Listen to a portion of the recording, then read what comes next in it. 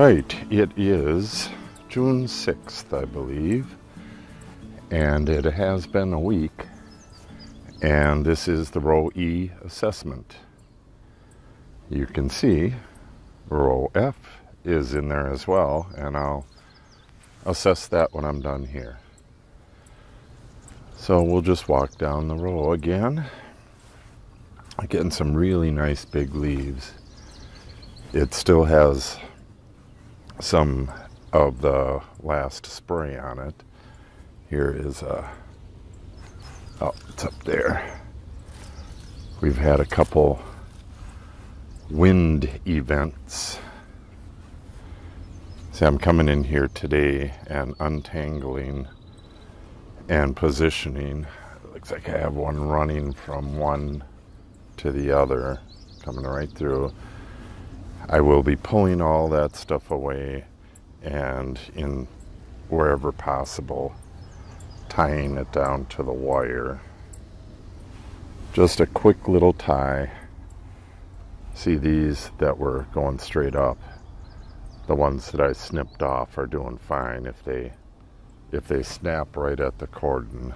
They're they're a problem. I wish I would have gotten more of them tied or clipped. Another dead one.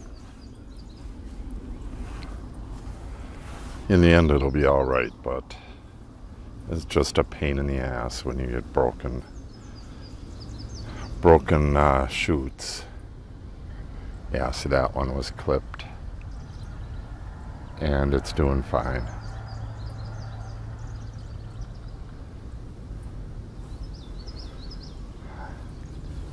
Some of these are getting close to the ground and will need to be hedged. Um, I have to hedge below the bottom wire and up top. See, I wouldn't hedge this because this is uh, that's a main shoot, but I'll get side shoots like this that will come up and go straight up and all that's going to happen is they'll snap when it gets windy. Yeah, speaking of wind, today is going to be pretty windy. We've had a lot of wind lately, but that's fairly normal. We are up on a ridge, so see, I cut this off because this one, you know, was going straight up. Oh, there's the kitty. Maisie Cat. Come to help me work in the vineyard. See, today I wanted to get in here and take off the last of the Phomopsis damage stuff. And I have some powdery mildew in row E or F. It's going to be hard to remember that. The last row is F now. Yeah, see this needs to be tied. The tie came off. Got to get in here and do all the maintenance work. Pruning, tying, like that.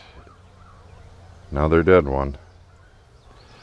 I came in here last night. You, you can't really see it in this row very well. But you have to hand prune around the base of the vines then you can come in with the glyphosate and knock down the weeds. It's a real pain in the ass. In the end, I'm going to have grass right up to the vines or real close to the vines and I want to use a robotic trimmer, a robotic grass cutter. That's the way to do it.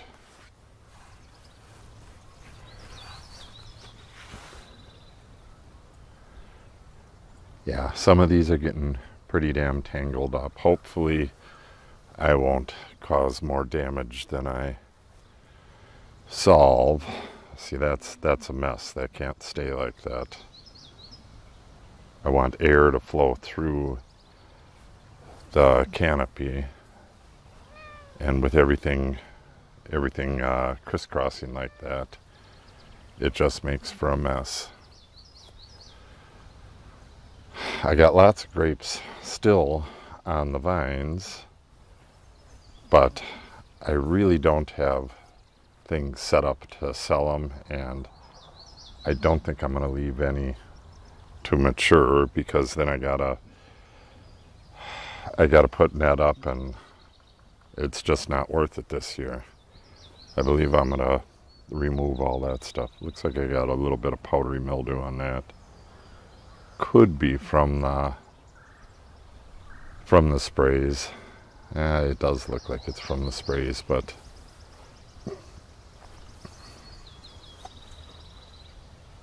and another broken one there. Not in a critical not in a critical position, but broken nonetheless. And that brings us to the end of the row. So, hit the subscribe button and click the little bell for updates, and you'll be notified when we do these little row updates. At some point very soon, this is going to look like a curtain of green. It gets pretty awesome looking in a week or two.